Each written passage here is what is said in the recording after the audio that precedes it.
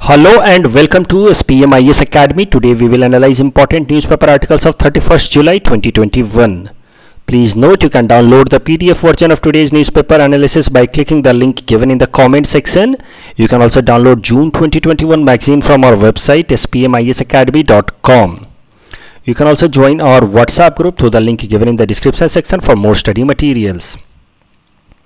This is the list of the topics that we will be covering from today's newspaper and the first article is taken from editorial segment it is about taking assam to fifth rank amongst indian states and this topic is important from our syllabus paper 6 assam issues point of view सबसे पहले इस article का context समझते हैं तो हमारे state के chief minister Himanta Biswa Sarma साहब अपनी स्वेरिंग इन सेरेमनी के बाद उन्होंने कहा कि आने वाले पाँच सालों में वो कोशिश करेंगे कि आसाम को इंडिया के टॉप फाइव स्टेट्स में पहुँचा दें लेकिन इस आर्टिकल में कहा गया है कि देखिए, ज़्यादातर जो इंडाइसेस हैं, ज़्यादातर जो रैंकिंग्स हैं इंडियन स्टेट्स के, उसमें हमारा स्टेट आसाम अभी नीचे से आता है।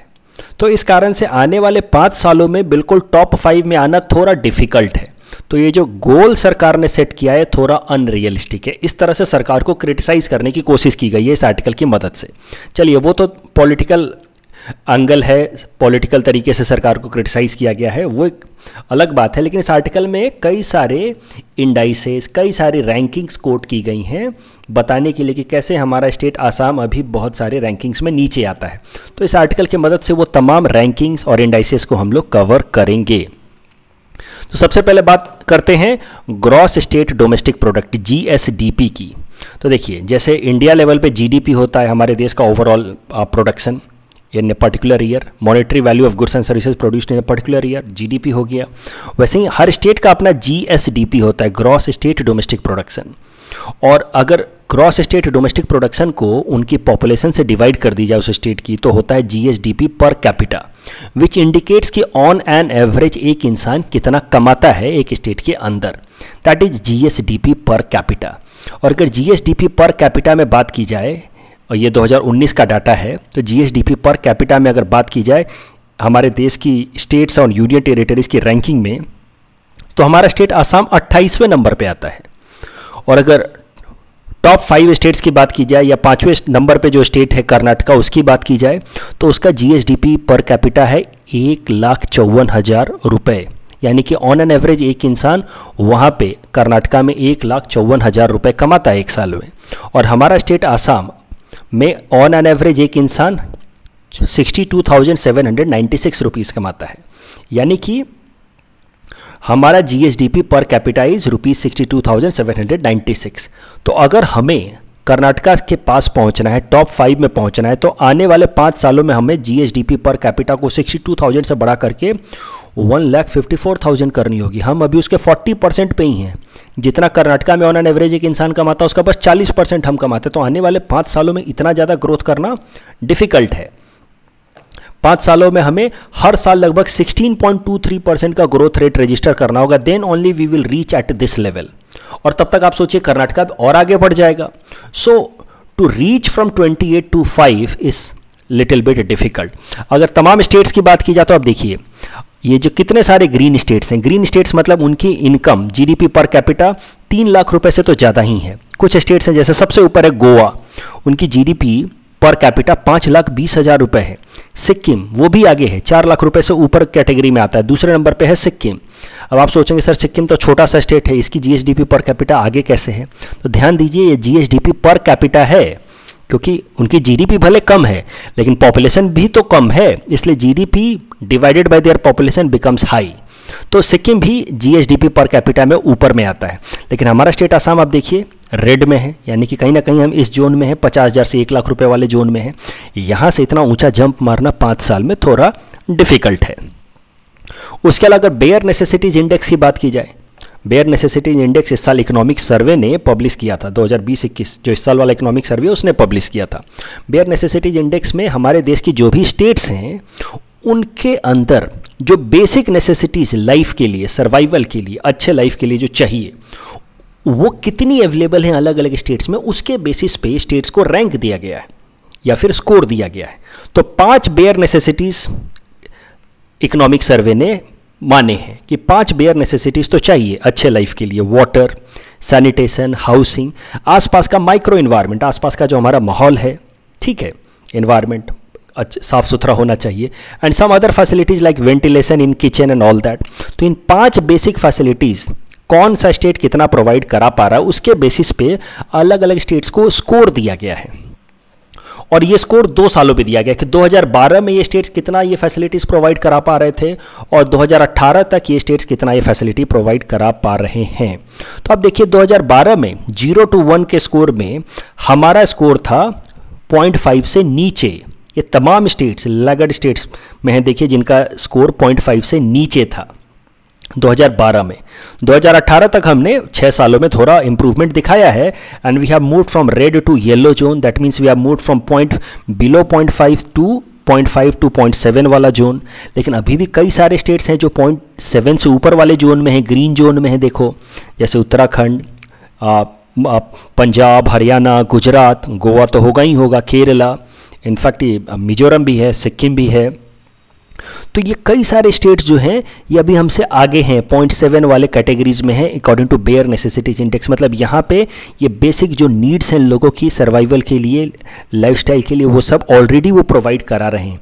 इन सबको बीट करके टॉप फाइव में पहुँचना थोड़ा डिफ़िकल्ट है। आपको पीटी पॉइंट ऑफ़ व्यू से जो बातें याद रखनी है कि हाल फ़िलहाल में जो इकोनॉमिक सर्वे ने पेयर नेसेसिटीज इंडेक्स पब्लिश किया था, उसमें 2012 में हमारा स्कोर था 0.5 से नीचे बिलो 0.5 और 2018 में our score was between 0.5 to 0.7 अगर बात की जाए, नीति आयोग की सस्टेनेबल डेवलपमेंट गोल इंडेक्स 2020 की, उसमें भी हमारा परफॉर्मेंस काफ़ी ख़राब है। आप देखो क्या है नीति आयोग सस्टेनेबल डेवलपमेंट गोल इंडेक्स वो भी समझते हैं। देखिए एचडीजी गोल्स दुनिया में सत्रह यूनाइटेड नेशंस प्लेटफॉर्म पे हमने पूरे दुनिया के लिए सत्रह गोल इस तरह के आइडेंटिफाई किए हैं कि हमें आने वाले 2015 से 2030 तक में ये सत्रह गोल्स अचीव करने हैं। ठीक है जी? तो ये तो इससे रिलेटेड तो पिछले साल भी ए पी प्रिलिम्स में सवाल पूछा था। आई थिंक कि एच गोल नंबर फाइव इनमें से कौन एच डी जी नहीं है? इस तरह का कुछ पूछा था। न्यूक्लियर नॉन प्रोलिफरेशन उसका आंसर था। आई होप आपको याद होगा। तो एच गोल्स तो आपको पता ही है। 2015 से 2030 के लिए टारगेट पूरे दुनिया भर के लिए सेट किया गया है। अब हमारे देश में नीति आयोग ने अलग अलग स्टेट्स को रैंकिंग देना शुरू कर दिया 2018 से कि भाई एचडीजी गोल्स जो आपके लिए सेट किए गए हमारे देश के लिए ओवरऑल उसमें अलग अलग स्टेट्स कितना इंप्रूवमेंट दिखा रहे हैं। उस गोल्स को अचीव करने में अलग अलग स्टेट्स कितना ज़्यादा काम कर रहे हैं। और उस, जो स्टेट जितना अच्छा काम कर रहा है, उसको और बेहतर स्कोर दिया जाता है। NITI Aayog gives a score between zero to hundred और इसी को नाम दिया गया S D G index NITI Aayog S D G index जो 2018 से नीति आयोग पब्लिश कर रहा है। 2018 में फ़र्स्ट एडिशन था 2019 में सेकेंड और 2020 में थर्ड एडिशन तो एच इंडेक्स जो रिसेंटली पब्लिश हुआ है 2020 का H index that was third edition उसमें अगर बात की जाए तो हमारा स्टेट असम बॉटम थ्री में आता है। सबसे नीचे बिहार एज यूजल यहाँ भी सबसे नीचे था। आप देखो जीडीपी जीएसडीपी पर कैपिटा में। तो जीएसडीपी पर कैपिटा नीचे है तो इनकम कम है तो लोगों का लाइफस्टाइल भी ख़राब होगा तो बेयर नेसेसिटीज इंडेक्स में भी नीचे ही है। और अब आप देखो, ये सस्टेनेबल डेवलपमेंट गोल इंडेक्स में भी ये वर्स्ट कैटेगराइज है बिहार, फिर है झारखंड, तीसरे नंबर पे आसाम वर्स्ट कैटेगरीज में। तो कहीं ना कहीं एचडीजी इंडेक्स में भी हम नीचे से हैं। It's difficult to reach into top five आप देखो इंडिया का ऑन एन एवरेज इंडिया का एवरेज स्कोर है 66 उस एवरेज से भी हम कितना नीचे हैं? टॉप के स्टेट्स हैं केरला हिमाचल प्रदेश इनका स्कोर देखो कितना ऊँचा है 75 इस तरह से। तो to break into top five is little bit difficult in this parameter as well अब अंत में इस आर्टिकल में कुछ सजेशंस दिए गए हमारी सरकार के लिए, जो काफ़ी कंस्ट्रक्टिव तरीके से आप अपने आंसर राइटिंग में लिख सकते हैं। इस आर्टिकल में कहा गया है कि देखिए rather than making unrealistic goals ठीक है, अब इस तरह का हार से स्टेटमेंट आप एग्ज़ाम में मत लिखना। सरकार को आप ब्लैटेंटली क्रिटिसाइज मत करना।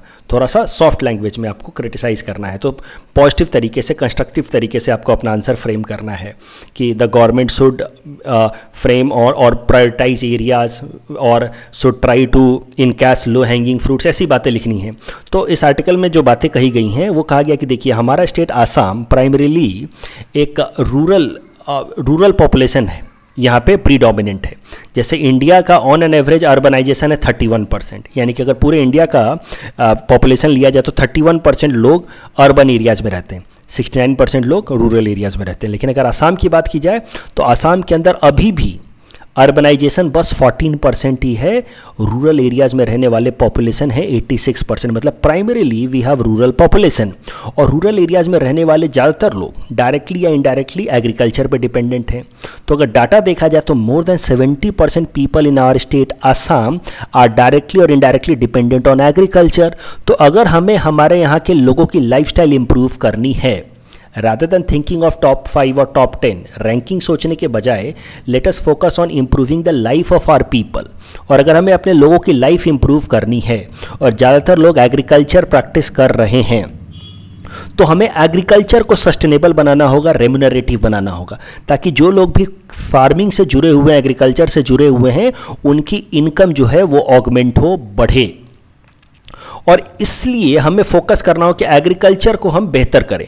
और एग्रीकल्चर में सबसे बड़ा प्रॉब्लम हमारे स्टेट आसाम में है एग्रीकल्चर से रिलेटेड सबसे बड़ा प्रॉब्लम है फ्रीक्वेंट फ्लडिंग हर साल फ्लड आ जाता है और एग्रीकल्चर को काफ़ी नुकसान होता है। तो फ्लडिंग के प्रॉब्लम को हमें काउंटर करना होगा और फ्लडिंग के प्रॉब्लम को सस्टेनेबल तरीके से काउंटर करने का एक ही उपाय है ड्रेजिंग जो हमारी ब्रह्मपुत्रा नदी है, उसके रिवर बेड को क्लीन करना। ये जो मौजूदा सरकार है, जब 2016 में ये पहली बार आई थी तो उन्होंने अपना आसाम विजन डॉक्यूमेंट रिलीज़ किया था, जिसमें उन्होंने सबसे पहला प्रायोरिटी गोल रखा था कि we will clean the river bed of Brahmaputra river through the dredging process right from Sadiya to Dhubri इस काम को हमें प्रायोरिटी बेसिस पे कंप्लीट करने की ज़रूरत है। तभी जाकर के ब्रह्मपुत्रा का जब हम रिवर बेड क्लीन करेंगे ड्रेजिंग करेंगे dredging I hope you know it is clearing the bed by scooping out mud weed and rubbish with dredge ये होता है ड्रेज इस तरीके से उसके नीचे का रिवर बेड के सिल्ट्स सैंड्स को निकाला जाता है। तो इससे कैसा होता है? रिवर की डेप्थ बढ़ती है और जब रिवर की डेप्थ बढ़ती है तो फ्लडिंग का प्रॉब्लम कम होता है। और फ्लडिंग कम होगा तो एग्रीकल्चर अच्छा होगा। एग्रीकल्चर अच्छा होगा तो सेवेंटी लोगों की लाइफ में इंप्रूवमेंट आएगा। और सेवेंटी लोगों के लाइफ में जब इंप्रूवमेंट आएगा तो अपने आप ओवरऑल आसाम के लोगों का जो बेसिक इंडिकेटर है हेल्थ एजुकेशन वो सब इम्प्रूव होने लगेगा। सो so, इस आर्टिकल में यही कहा गया है कि देखिए rather than making unrealistic goals and making such targets like top 5 or top 10 let us focus on the priority areas and priority areas should be agriculture तो इस तरीके से इस आर्टिकल में सजेशंस दिए गए हैं हमारी सरकार के लिए इस टॉपिक के बेसिस पे ये प्रैक्टिस क्वेश्चन हमने आपको दे रखा है। Please attempt this question and you can submit the answer in the comment section the next article taken from science and technology segment it is about Chandrayaan three mission and this topic is important from our syllabus paper four science and technology point of view तो देखिए Chandrayaan mission यानी कि India's moon mission Chandrayaan three के बारे में article है तो एक एक करके पहले हमारे चंद्रयान वन के बारे में पढ़ लेते हैं that is first mission then Chandrayaan two के बारे में पढ़ेंगे and then we will learn about Chandrayaan three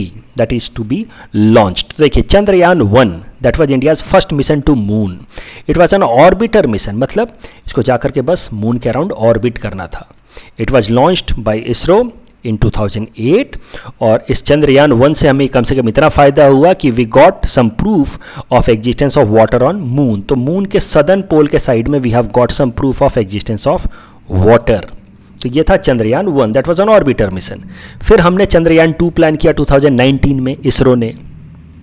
अब चंद्रयान टू में बहुत सारी चीज़ें थी. It was not just an orbiter Chandrayaan two में कैसा है कि एक ऑर्बिटर था? जिसको हम लोग चंद्रयान टू कहते हैं।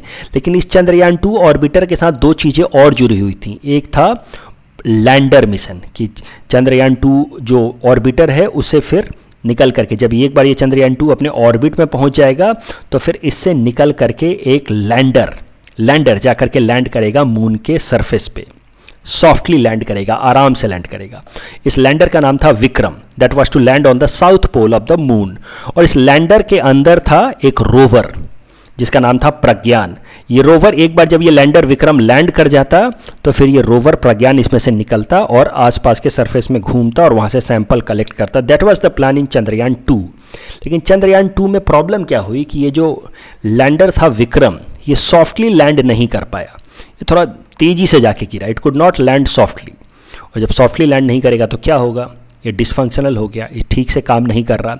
इस कारण से जो हमारा चंद्रयान टू मिशन था, वो पार्शियली सक्सेसफुल हो पाया। पूरी तरह से सक्सेसफुल नहीं हो पाया। जो ऑर्बिटर मिशन था, वो तो सक्सेसफुल रहा, वो तो घूम रहा है, लेकिन जो लैंडर थे और रोवर थे, वो फेल हो गए। अब चंद्रयान थ्री में हम यही कोशिश कर रहे हैं। जो हम चंद्रयान टू में नहीं कर पाए, वो अब चंद्रयान थ्री में रिपीट करेंगे। We will do soft landing on the moon surface in Chandrayaan three तो चंद्रयान थ्री में इस तरह का लैंडर भेजा जा रहा है वापस से। उसमें एक रोवर भी होगा। और चंद्रयान टू का, चंद्रयान थ्री का जो लैंडर होगा और जो रोवर होंगे, वो कम्युनिकेट करेंगे चंद्रयान टू ऑर्बिटर से। तो चूँकि चंद्रयान टू ऑर्बिटर तो ऑलरेडी मूव कर रहा है ना तो ये जब चंद्रयान थ्री में कैसा होगा, सिर्फ़ लैंडर जाएगा। और ये लैंडर कम्युनिकेट करेगा चंद्रयान टू वाले ऑर्बिटर से और उसकी मदद से हमारे अर्थ पे सिग्नल भेजेगा। तो as I said Chandrayaan three is a lander and rover specific mission इसमें सिर्फ़ लैंडर और रोवर होगा और it will communicate with earth via the existing orbiter Chandrayaan two तो इसमें कोई नया ऑर्बिटर नहीं होगा, ये पुराना चंद्रयान टू के ही ऑर्बिटर से ये कम्युनिकेट करेगा, इसका लैंडर और रोवर मिशन होपफुली आप देखो, ये सक्सेसफुल हो जाए, हमारे लिए अच्छा रहेगा हमारे इसरो के प्राइड के लिए, हमारे इंडियंस हम सब के प्राइड के लिए, क्योंकि पिछले बार ये फेल हो गया था 2019 में. अब करंट न्यूज़ ये है कि देखिए इसरो ने तो बहुत पहले प्लान कर लिया था कि हम चंद्रयान थ्री भेजेंगे, लेकिन कोरोना वायरस के कारण ये जो डेट है वो बार बार एक्सटेंड हो रही है अब इसरो ने फाइनली अनाउंस किया है कि अगले साल, यानी कि 2022 के थर्ड क्वार्टर में, यानी कि लगभग अक्टूबर से लेकर के दिसंबर के बीच में वो अगले साल चंद्रयान थ्री लॉन्च करेंगे The next article is taken from national segment. It is about defining creamy layer and this topic is important from syllabus paper 3 Indian polity point of view. So, देखिए, इस आर्टिकल को थोड़ा detail में समझते हैं इस article को समझने के लिए पहले आर्टिकल 15 रिवाइज कर लेते हैं। आर्टिकल 15 का पार्ट वन तो आपको याद होगा ही article 15 sub clause one that the state shall not discriminate only on the basis of race religion caste sex and place of birth तो भाई, हमारा, हमारी सरकार, हमारा देश, हमारा राजतंत्र लोगों में भेदभाव नहीं करेगा। It will not discriminate on the basis of religion race caste sex और प्लेस ऑफ़ बर्थ कि भाई तुम इस रिलीजन के हो तो तुम्हें पॉजिटिव ट्रीटमेंट मिलेगा, तुम इस कास्ट के हो तो तुम्हें डिस्क्रिमिनेट किया जाएगा, ऐसा कुछ भी नहीं करेंगे। ऐसा आर्टिकल 15 वन में लिखा है। लेकिन साथ ही साथ उसी में आर्टिकल 15 फोर भी है which says that nothing in article 15 one will prevent the state from making a special provision for advancement of socially and educationally backward classes of citizens S C and S T community citizens तो मतलब article 54 के हिसाब से 15 four के हिसाब से जो SC community के लोग हैं, एसटी कम्युनिटी के लोग हैं और जो सोशली एजुकेशनली बैकवर्ड कम्युनिटी के लोग हैं, उनके वेलफेयर के लिए हमारी सरकार कुछ एक्शंस ले सकती है और इन एक्शंस को यह नहीं माना जाना चाहिए कि it is violation of article fifteen one आपको ये आकर के ना कहे कि, सर, ये इस जाति को बिलोंग करता है, इसलिए आप इसको पॉजिटिव ट्रीटमेंट दे रहे हैं। आप इसके लिए क्यों ये वेलफेयर स्कीम चला रहे कई सारे S C S T community के लिए वेलफेयर स्कीम्स चलते हैं ना जी। अब कई सारे कानून भी हैं prevention of atrocities against S C S C S T act तो ये सब, आपको ये नहीं कह सकता कि सर आप तो पॉजिटिव ट्रीटमेंट दे रहे हो, आप तो भेदभाव कर रहे हो, आप फिफ्टीन वन का प्रोविज़न को वॉलेट कर रहे हो। सरकार तभी आपको फिफ्टीन फोर भी दिखा देगी कि देखो बेटे, ये हमें सरकार, हमें संविधान नहीं एक ड्यूटी दे रखी है कि एस सी एस टी और सोशली एजुकेशनली बैकवर्ड कम्युनिटी के लोगों के लिए, वेलफेयर के लिए हमें कुछ स्टेप्स उठाने and that will not be considered as violation of article 15 one और इसी तरीके का सिमिलर प्रोविज़न लिखा हुआ है आर्टिकल 16 में but that specifically talks about public employment सरकारी नौकरियों के बारे में बात करता है कि सरकारी नौकरियों में अगर सरकार कुछ भेदभाव कुछ पॉजिटिव ट्रीटमेंट दे सकती है एस सी या ओबीसी कम्युनिटी को।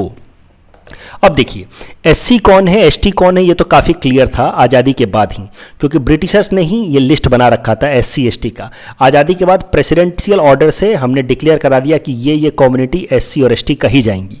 लेकिन ये सोशली एजुकेशनली बैकवर्ड कम्युनिटी वाले लोग कौन हैं? ये हमें पता नहीं था। ये हमारे संविधान में लिखा हुआ था ये term socially and educationally backward classes of citizen but who they are कौन है ये लोग? कहाँ से आते हैं? ये नहीं पता था। बस ये टर्म लिखा था हमारे संविधान में। ठीक है जी?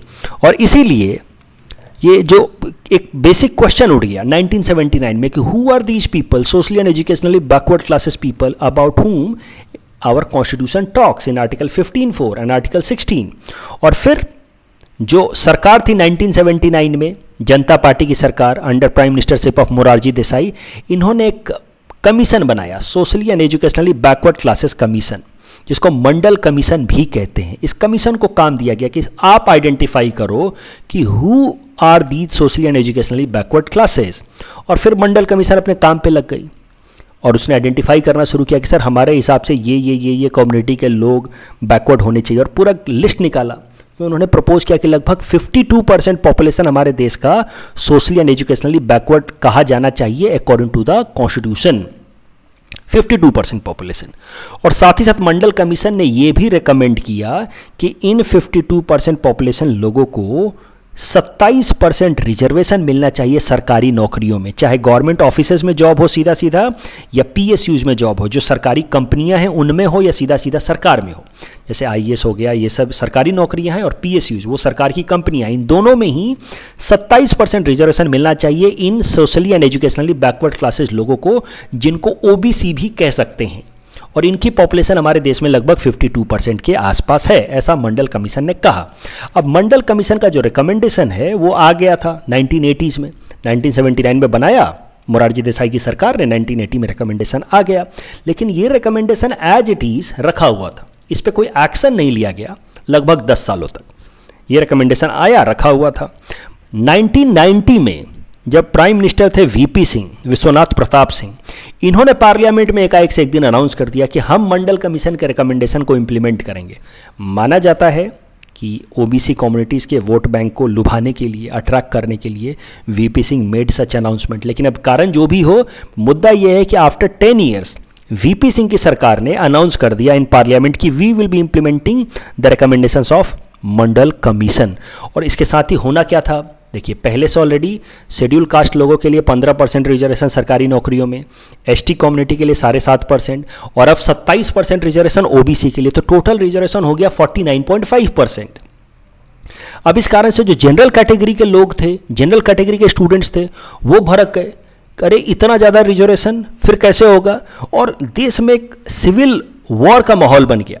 Between general category students and OBC students और आप समझिए कि कई सारे जनरल कैटेगरी के स्टूडेंट्स उन्होंने प्रोटेस्ट करते करते सेल्फ इमोलेशन कर लिया, जान दे दी। फॉर एग्ज़ाम्पल आप देखिए यहाँ पे Rajiv Goswami from Desh Bandhu college in Delhi set himself on fire और एक देश में सिविल वॉर इंटरनल डिस्टर्बेंस का माहौल बन गया after this announcement by VP Singh कि we will be implementing the recommendation of Mandal commission तो जब इतना गहमा गहमी का माहौल बन गया, सिविल वॉर का माहौल बन गया, फिर ये मामला पहुँचा सुप्रीम कोर्ट।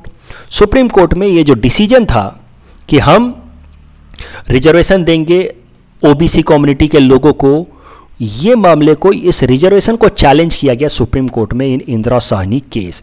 तो the constitutionality of OBC reservation was challenge in the supreme court in Indira Sawhney case. कि ये सही नहीं है, ये कॉन्स्टिट्यूशन के खिलाफ है।